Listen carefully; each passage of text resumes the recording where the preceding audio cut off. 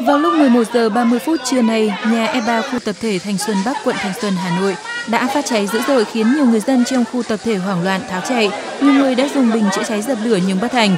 Nhận được thông tin, lực lượng phòng cháy chữa cháy Hà Nội đã điều động đến hiện trường 4 xe cứu hỏa và hàng chục chiến sĩ. Tuy nhiên do căn phòng chứa nhiều đồ đạc nên đám cháy lan nhanh, nhiều vật dụng trong các căn hộ bị thiêu rụi. Khoảng 40 phút sau, ngọn lửa mới cơ bản được khống chế.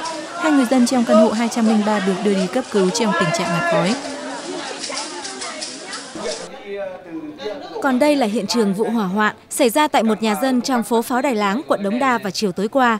Tại thời điểm này, lửa bốc lên dữ dội từ tầng 2 căn nhà 3 tầng, kèm theo tiếng kêu cứu thất thanh của chủ nhà. Lực lượng chữa cháy đã điều động nhiều lượt xe cứu hỏa đến hiện trường. Tuy nhiên, công tác cứu hộ gặp nhiều khó khăn do ngôi nhà nằm sâu trong ngõ, xe cứu hỏa chuyên dụng không thể tiếp cận. Lực lượng cứu hỏa đã phải sử dụng tới 500 mét dây dẫn nước. Khoảng 30 phút sau, ngọn lửa được khống chế. Trong lúc chữa cháy, một chiến sĩ cứu hỏa đã bị thương do kính văng vào người. Nguyên nhân cháy được xác định là do chập điện tủ lạnh.